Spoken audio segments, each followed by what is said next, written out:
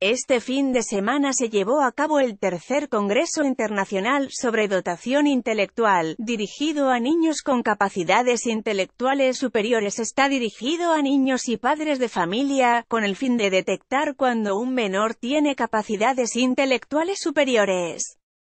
Se estima que en México hay alrededor de un millón de niños sobredotados. Muchos de ellos son víctimas de bullying. Los de capacidad intelectual superiores por décadas han sufrido y también padecido el escarnio, la burla, la agresión física, la discriminación y el maltrato en la sociedad, a veces desde la misma casa familiar. Este congreso es también un llamado de parte de estos niños sobredotados para que no les permitan seguir creyendo que el delito mayor que cometieron es haber nacido sobredotados, explicó Andrew Almazán, director del Departamento de Psicología, Centro de Apoyo Psicológico para Niños con Sobrecapacidad Intelectual. El próximo 30 de mayo se conmemora el Día Internacional del Sobredotado.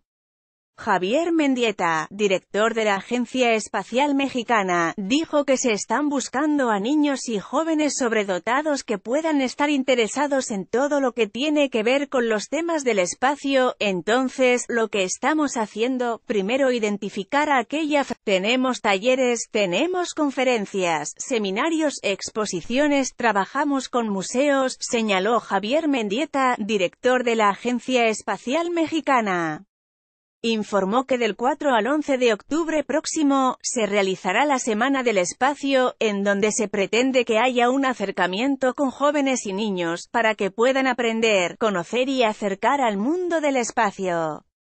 También puedes leer, murió el doctor Jesús Cumeit, pionero de la vacunación universal en México con información de Mario Torres Map.